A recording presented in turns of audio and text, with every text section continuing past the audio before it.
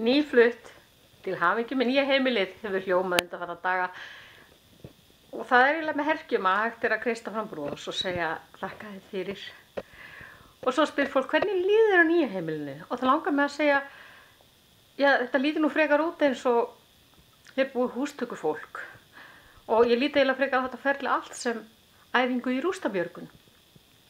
Þetta kristallaði svo núna í hátinu því ég ætlaði að fá mig te og ristabrauð ég uppgötvaði þegar ég beiti ristaðabrauðið með smjörinu að viku gamla brauðið var orðið miklað.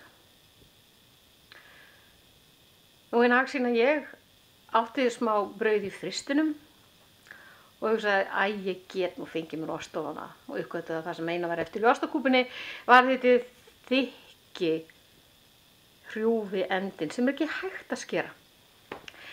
En það er margt að þakka. Ég á heimili, ég á það sjálf, ég gæti fluttingað allt sem ég langaði til og ég fann fólk til að flytja þetta fyrir mig. Ég segi fyrir mig vegna þess að ég stóð aðalega svo höfulegs hæna og reyndi á til að segja nei, þessi kassi þarna, nei, hinn það ekki setja þetta þarna. Ég var eins og bannmerki, sveimið þá.